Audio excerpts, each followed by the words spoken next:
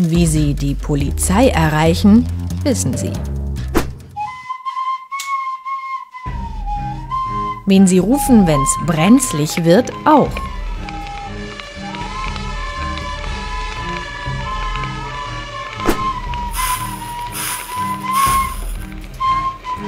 Aber wen anrufen, wenn's Ihnen nicht gut geht? Zum Beispiel wegen eines anaphylaktischen Schocks, wenn starke Schwellungen auftreten, dann die 112. Auch beim Verdacht auf einen Schlaganfall. Und bei Symptomen eines Herzinfarkts.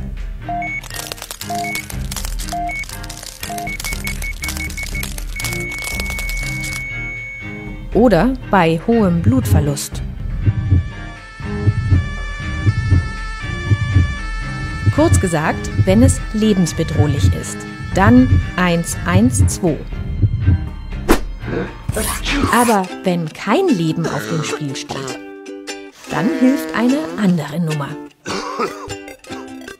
Beim grippalen Infekt mit anhaltendem oder steigendem Fieber sowie Kopf- und Gliederschmerzen.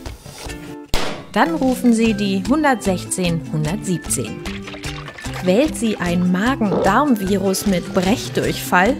Die 116 117.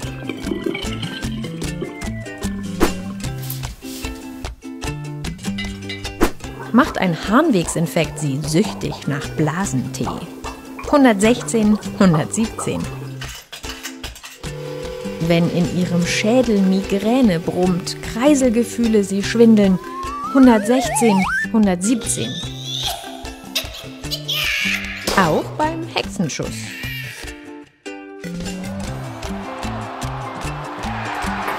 Oder bei Verdacht auf gerissene oder überdehnte Bänder 116 117.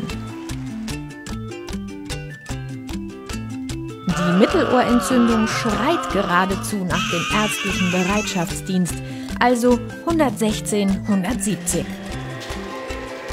Und auch die Windpocken wenn alle Hausmittel nichts mehr bringen, Sie aber nicht warten können, bis Ihr Hausarzt wieder Sprechstunde hat, dann die 116 117. Also, wenn dringend, aber nicht lebensbedrohlich, dann der ärztliche Bereitschaftsdienst. 116 117. Die Nummer, die hilft. Bundesweit.